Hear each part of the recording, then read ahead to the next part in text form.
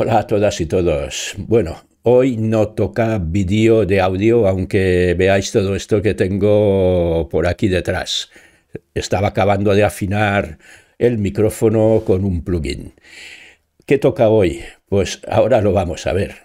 Sí, he sido nominado para seguir con el top 3 de mis distros Linux favoritas sin nombrar o al menos sin pretender meter ahí con calzador la distro que utilizamos por defecto.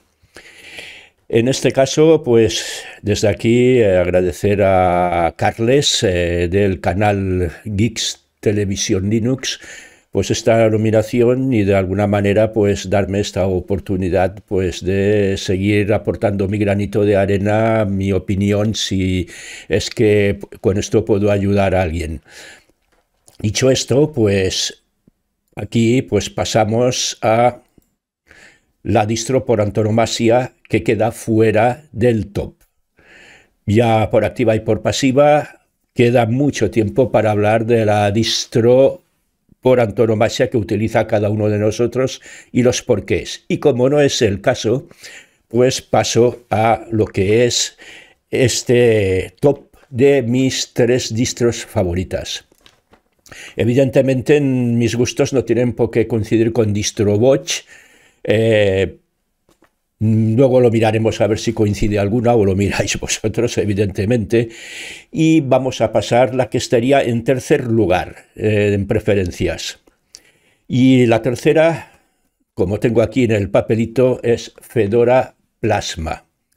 Actualmente en su versión 37. ¿Y por qué la nombro? Porque eh, en una laptop eh, que ya tuve que cambiar la batería y mantuve, no voy a nombrarla ahora, su distro antigua, eh, me daba una estimación de batería casi como la que se había estropeado. Eh, no puede ser. Entonces, como yo ya tenía constancia que hay varias distros, pero concretamente Fedora es una de ellas y concretamente en el escritorio Plasma es muy respetuoso con las baterías y tiene un buen, hace un buen uso digamos, de los requerimientos de cara a la batería cuando estás en uso de batería en este momento o no estás cargando. Y eh, en este caso, pues eh, sí que os puedo adelantar de que la batería mm, prácticamente ha más que duplicado su eh, estimación haciendo un uso normal de lo que puedes hacer un uso en una laptop de, y, esta duración de la batería es, vamos, es inmejorable. Hay otras razones. Fedora sí que os puedo adelantar de que fue una de mis primeras distribuciones, concretamente la versión 34 la tuve hace mucho tiempo eh, luego ya pasó a otra distro que también precisamente, y eso me da pie para pasarme a la número 2. Y la número 2, como no, pues la madre de muchas distros, Debian.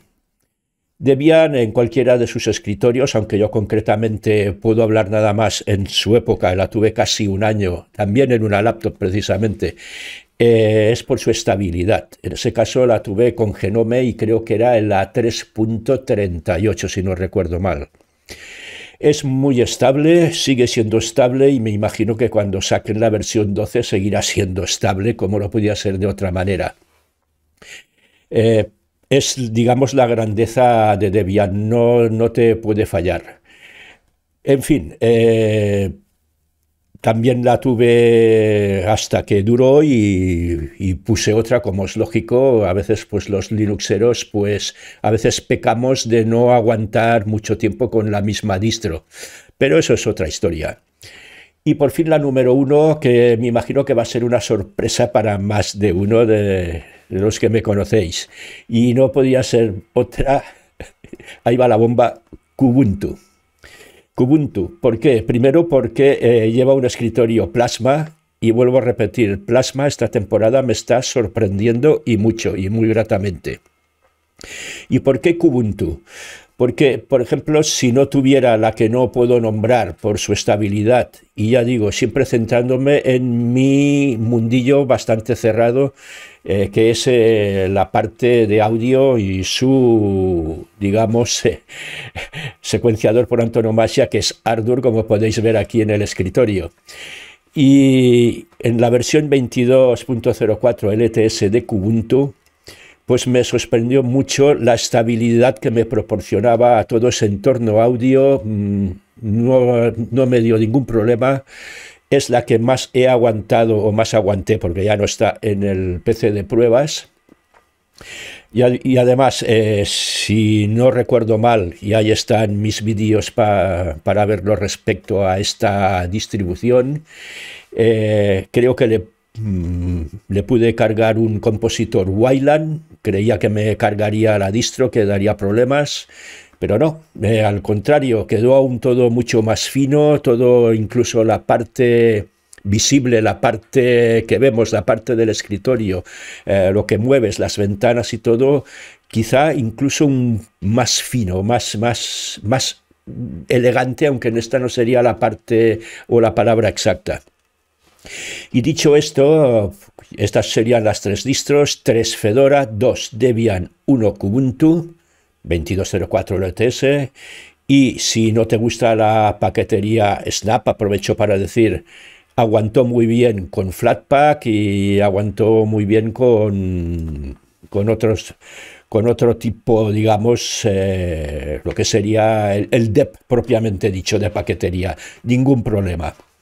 Y ahora paso ya a nombrar a los compañeros eh, que eh, como manda esta norma no escrita de esta especie de tag de cuáles son tus tres distros favoritas, pues allá va el primero. Y el primero es un poco de Linux.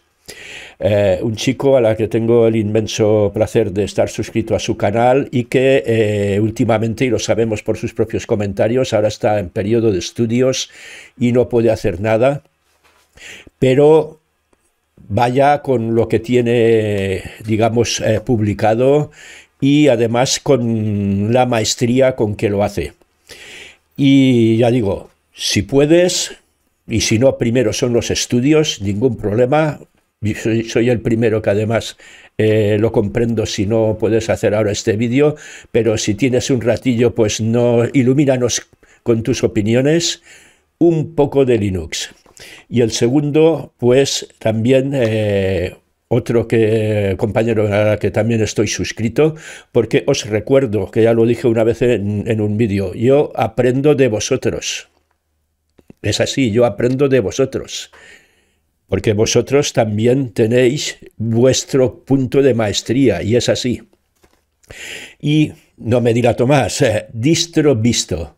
Eh, es una un canal en que también, aparte de, tocar las distros bajo un punto de vista bastante personal, pues también hace algún gameplay para los que os guste el tema de jugar en este mundo Linux.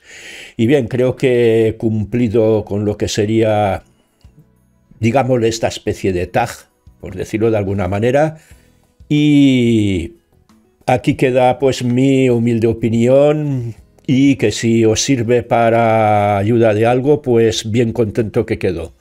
Así que amigos, amigas, hasta pronto y os espero en el próximo vídeo. Hasta luego.